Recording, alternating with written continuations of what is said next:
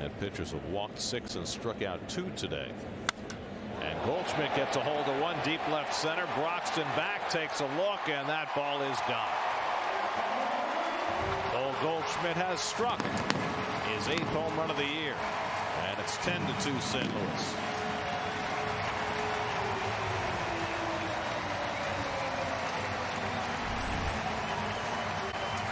spot for Paul Sewald, and that'll be against the right-handers, which is all he's faced in this inning.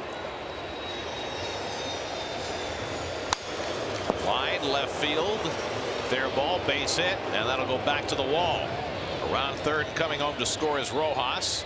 Diving into second base safely with a double is Peter O'Brien, and the Marlins go in front two to one. So O'Brien with his second hit of the night drives in the go-ahead run. Impressive.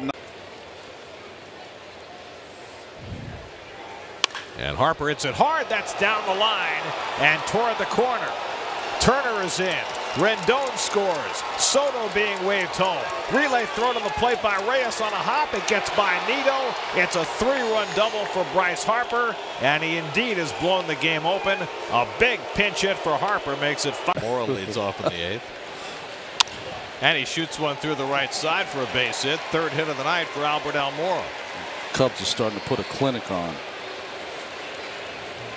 7-6 Milwaukee. Villar line drive. Base hit to right.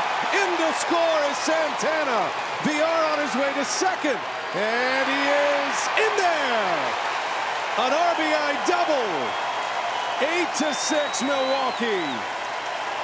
Schwarber lifts one deep to left. Back goes Bautista looking up, and it's out of here. Kyle Schwarber breaks this game open with an opposite field three-run homer. Schwarber's 11th home run of the year, and the Cubs now lead at 6 to 2. And the Mets bullpen has imploded yet again.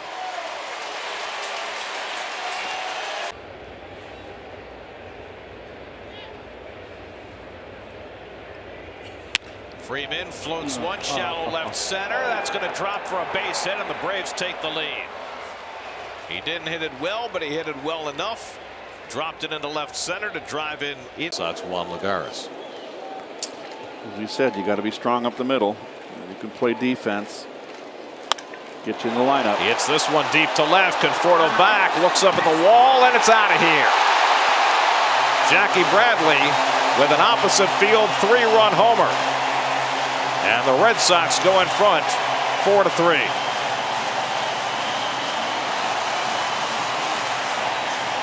Thirteenth home run of the year for Bradley.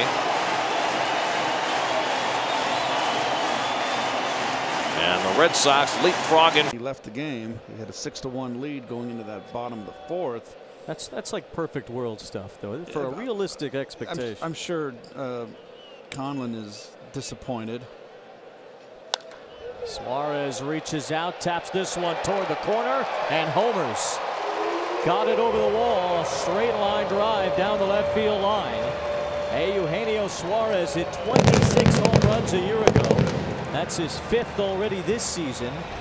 He's got 21 RBIs playing in just 19 games this year.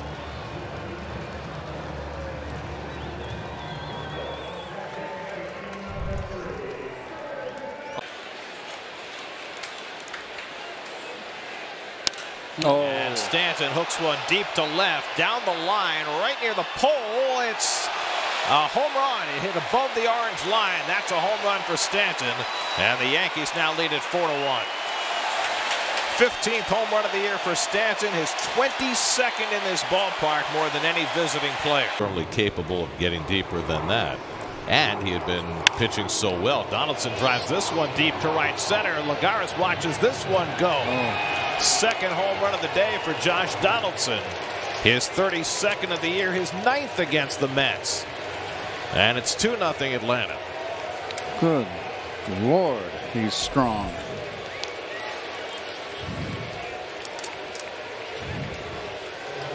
But all in all, a nice finish to the season for Corey after some ups and downs in his rookie year.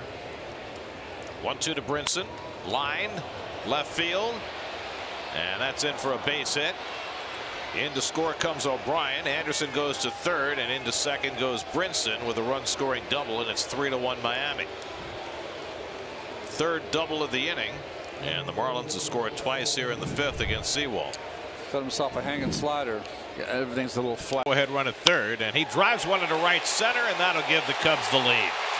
First pitch swinging, takes the fastball the other way. Bryant drives in the go ahead run, and it's 3 to 2 Chicago. Keith going